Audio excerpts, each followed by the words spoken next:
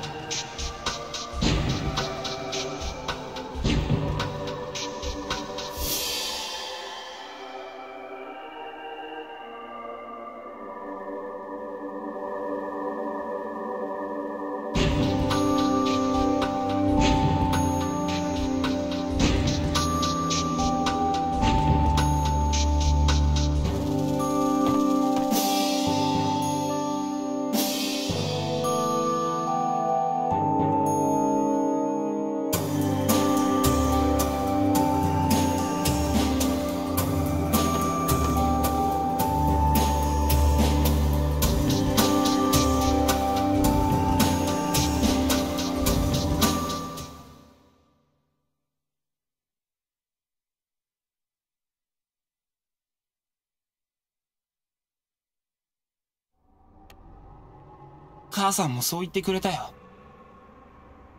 自分やオイラも人間だって。